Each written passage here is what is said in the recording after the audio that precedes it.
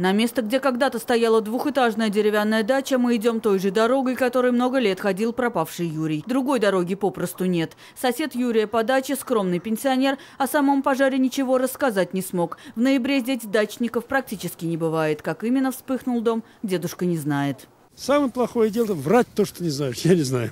Нет, она просто сама, я сразу говорю, она загореться сама точно никак не может. Нет. Ну, я имею в Потому виду... что вот тут я вот это все расчистил, да, вот эта вся печка была в утеплителе. Она была обложена кирпичом, утеплителем. То есть человек как бы долгие лет, ну, лет 7, наверное, или 6 он пользовался этой дачей. Так что очень аккуратно.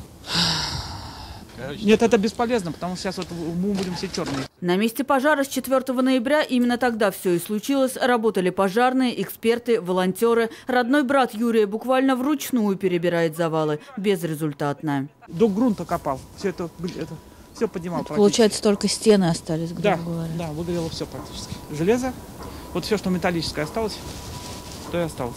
Последний раз мужчина звонил своим родственникам вот отсюда. Сообщил, что с ним все в порядке, и он собирается спать. Через 15 минут, как утверждают эксперты, дача полыхала открытым огнем. С тех пор о местонахождении Юрия ничего не известно. На работе и дома он не появлялся, на телефонные звонки не отвечает.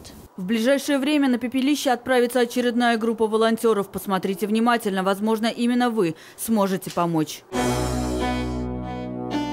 Разыскивается Соловьев Юрий Владимирович, 1965 года рождения, прописанный по адресу город Казань, улица Академика Лаврентьева, дом 14, квартира 85, который 4 ноября этого года ушел из дома на дачу, расположенную недалеко от 15-й горбольницы, и до настоящего времени его местонахождение не установлено. Приметы. На вид 50 лет, среднего телосложения, рост 180 сантиметров, волосы короткие, прямые, темные, глаза серые. Особые приметы. Носит очки.